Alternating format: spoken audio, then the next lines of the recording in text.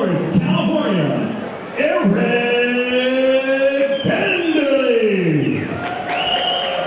His opponent stands across the cage in the red corner with no wins and three losses. Fighting independently right here in Las Vegas, Nevada. Here is David Guerrero.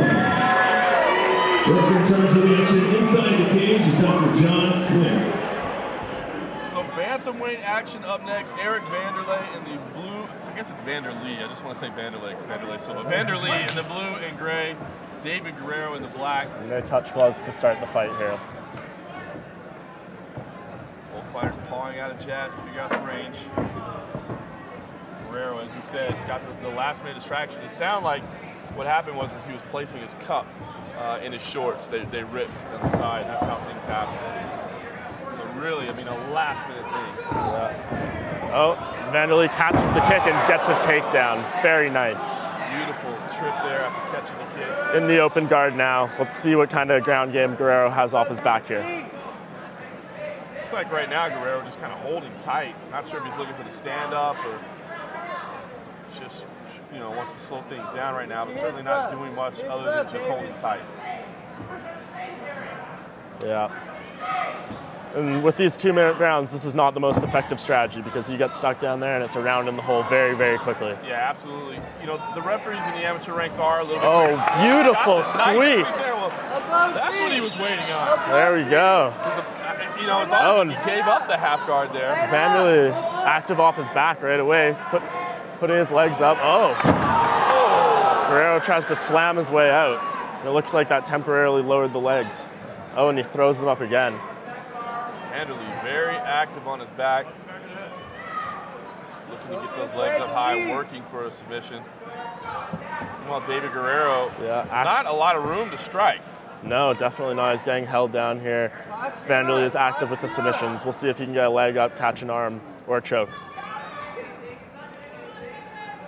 Or perhaps even a sweep of his own here.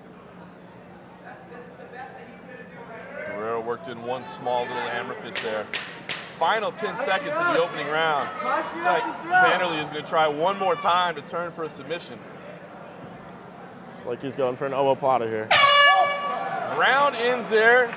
Mike Vaughn, can a fighter win a round off of his back? I don't know. That was a very tough one because he got the takedown, but that was a very nice sweep by Guerrero. I think we might have to give Guerrero the round there. I don't know. It's a, it's a close one. It's tough to call. It's tough to call. You're going to go with Guerrero. I'm, I'm going to go with Vanderlee. So it looks like we're split. So that's, For the that's first bad news. tonight. already. There we That's bad go. news for the judges. But yeah, you know, I, I, I see what you're saying. The, the sweep was nice, but to me, the takedown was the reason why they were there. Once they were on the back, once he did get the sweep, uh, I felt like it was That was one, as we watched the replay here, that was really doing everything. He was looking for submission after submission. Uh, Guerrero was never able to really posture up. So now that, that said, I mean, we see it all the time. Judges really do seem to value top position. I, I just, in my mind, I don't feel like he did enough with it. So uh, looks like we're split on this. Yeah, true. He did spend most of the round defending. It's a very close round. I mean, it was it's not much, not a ton to work with there. There wasn't too much significant. I definitely damage. wouldn't think that either fighter can feel comfortable thinking I took that round. No, absolutely not. So Vanderlee in the blue and gray.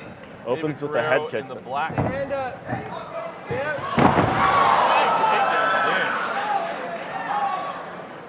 Well, let's see if Vanderlee immediately tries to throw his legs up again, and he does. Guerrero enjoying top position early on the second round. Turning for the armbar. Oh, and he may have it. Oh, Guerrero again tries to, and he finishes it. Beautiful. Guerrero tried to slam his way out, and it just tightened it up, and Vanderlee gets the finish. Very nice submission. Yeah, you could see the, the tension on his face right away. The pressure was on that elbow. Could not slam out of it. Had to tap before he could get it down. And Eric Vanderlee picks up the submission. And again, Mike, I mean, uh, listen, the fun, entertaining back and forth opening round. David Guerrero, you still got to wonder, did that malfunction get into his head a little bit? Obviously, we, we commended him for coming in and trying to learn his lessons and better himself, but what an unfortunate way to start a fight. Yeah, and some some crucial mistakes. I mean, he tried to slam his way out of multiple submissions.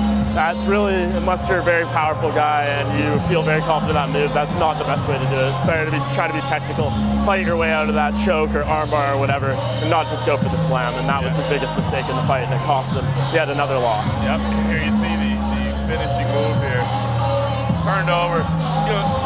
a good job in defending it, but he was finally able to stick it in. Let's take it up, get the official time.